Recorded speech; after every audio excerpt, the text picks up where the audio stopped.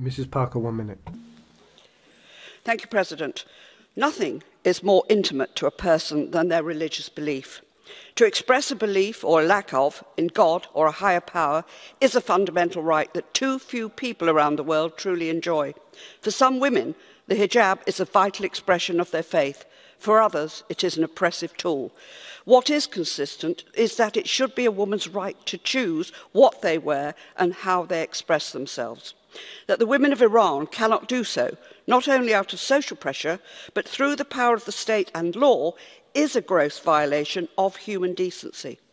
Iran must listen to her citizens, roll back these oppressive laws, and allow their citizens to choose.